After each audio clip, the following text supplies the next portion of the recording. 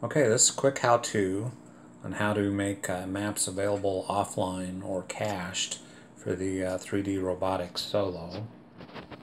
And uh, I've been fighting this about a week and it was all user error. I mean, uh, I really didn't understand what was going on. And part of it is I was doing it inside trying to figure it out and I have this message down at the bottom that uh, says waiting for GPS, which covers up another important message. So if you hit this button over here on the right, this uh, on the right center, you've got a uh, down arrow, and it uh, gives you a message about pan and zooming to save. Well, that's uh, that's a problem. We can close that message. Uh, you really can't see it or use it with that waiting for GPS. But what you need to do is let me uh, go back to my Wi-Fi here and I'm going to change it over to regular Wi-Fi get off the uh, solo connection.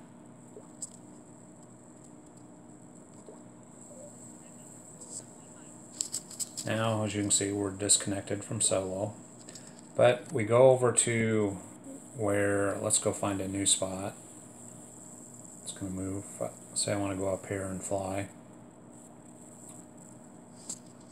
I click this down arrow and it says pan and zoom to adjust the map area you want to save and you can zoom in if you need additional detail.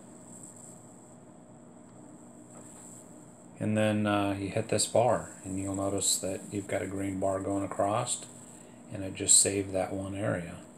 So you know I also want to uh, say if I want to go up here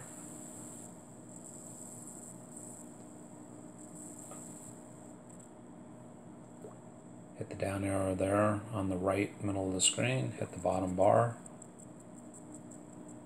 This one's going to uh, take a little longer to, to save because I've got a bigger area. And uh, that's it. That uh, saves that uh, area of the map. Now, if we uh, go back to the solo Wi-Fi,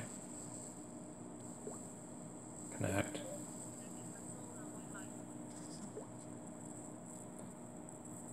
Now we're back, uh, see we're waiting for GPS. I'm inside right now so I don't have a GPS. But uh, as you can see,